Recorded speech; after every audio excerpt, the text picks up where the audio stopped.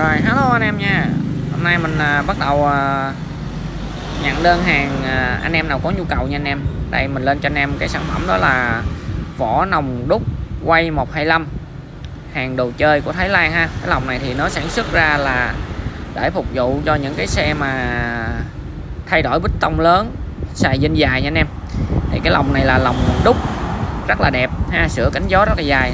Nòng này lồng quay 125 có xài à, tăng cam nha anh em đó.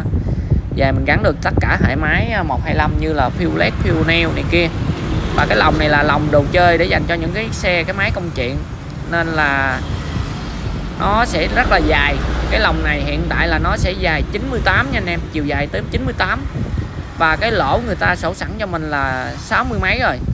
Thì đối với cái lồng này nó sẽ về anh em sẽ đóng được đi từ trái 61 62 trở lên ngay cả anh em đi đóng trái 70 mấy luôn vẫn được nha anh em. Tại vì hệ bù rong của hệ máy 125 này nó rất là xa. Anh em đóng lên trái 65 68 70 72 7 mấy luôn.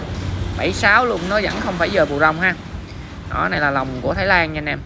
Đó, bắt đầu nhận đơn. Và cái một cái vỏ lòng này mình bán giá là một triệu một cái nha anh em. Đợt này mình ờ, làm giá được với lại ngay chỗ nhà cung cấp á. Giá cũng tốt.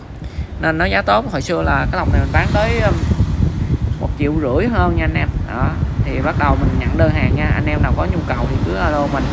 Hàng dài mình à, sẽ giao hàng cho anh em. Giá đợt này cực kỳ tốt nha anh em. Cái vỏ lòng này chỉ có một triệu một cái thôi nha. Đó.